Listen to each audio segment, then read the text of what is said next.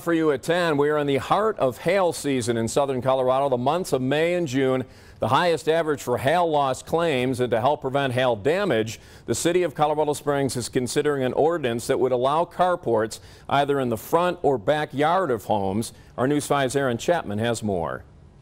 Springtime in Colorado Springs can be a bit dicey. It clouds up and rains, you know, in the afternoon, and a lot of times they're pretty serious. You get hail, lightning, flash floods. And many folks don't have a way to protect their cars when bad weather hits. It's the damage it does to these cars is is pretty extensive. My truck has had hail damage up the size of quarters. I mean, it still does. It, you know, you get money back from insurance, but it doesn't pay to fix it. As of right now, the city of Colorado Springs prohibits carports, which is a structure designed to protect a vehicle from the weather. But back in January, city council met with one neighborhood group who asked the city to reconsider its ban on the ports. I don't see a problem with it. I don't see that it's a big deal. I think people kind of have the right to protect their vehicles. But you get them off the street, you avoid hail damage, you avoid accidents, and you know, you keep people from breaking into your car. Now, you might notice there are carports in parts of the city, and while they are not legal, the city says they plan to work with those property owners so they don't have to tear them down. We'll make sure everyone understands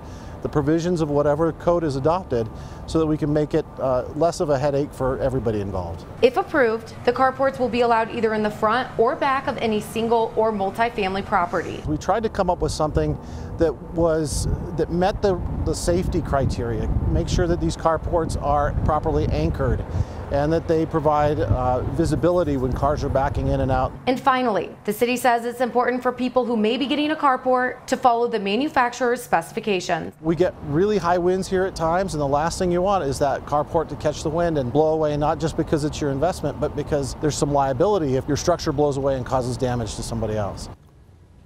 News 5's Erin Chapman reporting for us tonight. Now, if City Council passes the ordinance, carports could start going up as early as July 12th. City Council, though, wants to hear from you, and we can you can find a link to a questionnaire put out on the city's website.